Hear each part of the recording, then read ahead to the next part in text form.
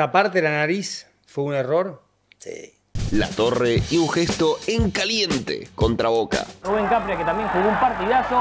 La escapada del enganche de Racing, el centro atrás y la definición de Diego Fernando La Torre, en el que fue seguramente el momento que más esperó desde que llegó a Racing. ¿Fue un error? Sí. Sí, esas son emociones violentas que le brotan al jugador. Me sentí dolido. Pero bueno, sí. Sí, sí. eh, ¿Qué fue en Mar del Plata?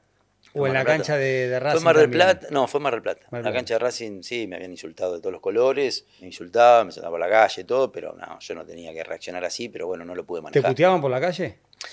Y había dolor, había dolor, porque yo era un símbolo. Claro. Y pasé de Boca a Racing, eh, con todos los co- conflictos en el medio, esa declaración. Parece más que nada un, un cabaret, esto, no un equipo de fútbol. esa declaración y el último, los últimos 10 partidos que lamentablemente habían borrado todo lo que había hecho para, para, para el hincha.